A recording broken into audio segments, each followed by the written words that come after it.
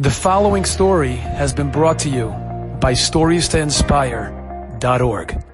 Do you know that Rabbi Lau, the great chief rabbi, Ashkenaz chief rabbi in Israel, to me he was one of the greatest speakers I've ever heard speak. He was such a powerful speaker, such an eloquent speaker, Rabbi Lau. Rabbi Lau writes in his biography, he was very close friends with Yitzhak Rabin and it turns out that Rabbi Lau, being the chief rabbi of Israel, one time he went to visit Fidel Castro in Cuba. Who would ever think? But nonetheless, he writes that he had a four or five hour discussion with Fidel Castro.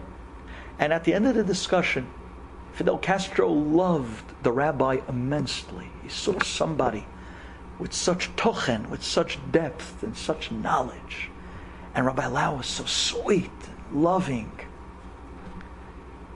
he says, Rabbi, I want you to do me a favor. He gives him a pack of very expensive Cuban cigars. I'd like you to deliver, deliver this to my friend Yitzchak Rabin when you get back to Israel. Rabbi Lau says, I'll be my, be my pleasure. He brings the cigars back to Israel. And he comes to Yitzchak Rabin and he tells him, I have a present for you for Fidel Castro. And he says, Really? He says, What is it? He shows him the Cuban cigars. Rabin says, I only smoke cigarettes. You know, I don't know if you know the old time Israelis. Boy, did they know how to lig. But Cuban cigars, no. While they were talking, it came up that the Israeli government was in negotiation at that time with the Palestinians, at that time with Arafat. They were coming out with a final resolution of what they were going to do with the green line of Jerusalem. And do you know where the deal was about to be shook on? They were about to give back Kever Rachel. Rabbi Lau turns to Yitzchak Rabin and says, What? Kever Rachel? You're going to give them Kever Rachel? Kever Rachel is going to look like Kever Yosef Tzaddik in Shechem today? No way. You can't.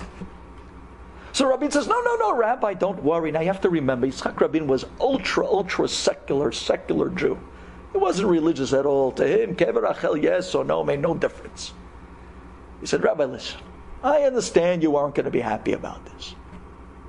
But don't worry, although they're going to control the road, and they're going to control the area, and they're going to control Derech Bet Lechem, but we're going to have rights to come visit it every now and then. Shema Yisrael, you hear this?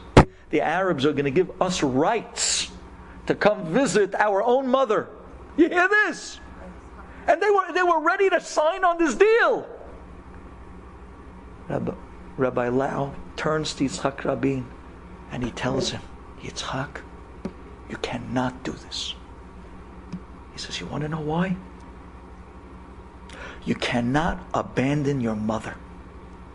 Nobody abandons their mother. Rabin was quiet. The next week, Yitzhak Rabin gives a call over to Rabbi Lau. And he says, Rabbi, I have good news. I want to tell you. I stood up by the meeting with Arafat and the PLO. And I took back Kever Rachel and Derech Bet Lechem. And I told him, no deal. And we were about to sign, no deal. You know why? because your words really hit me hard. You cannot abandon your mother. You don't abandon your mother. This is your mother. This is who you turn to for chizuk. This is who you turn to for a charge. This is why Yaakov Avinu buried her at the side of the road. A Jew without those recharges in Galut, oh, we're finished. How do we go on? How do we survive?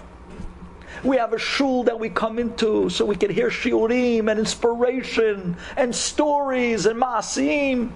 And we grow. And we get the charge for the week. We have Eretz Yisrael to go to. We come back on a high. We have Kever Rachel to come to. And we remember a mother that cried about us. And Borei Olam heard her voice over everybody else. We have to really appreciate these places. You don't abandon these places. You don't abandon your mother. Enjoyed this story? Come again. Bring a friend. StoriesToInspire.org.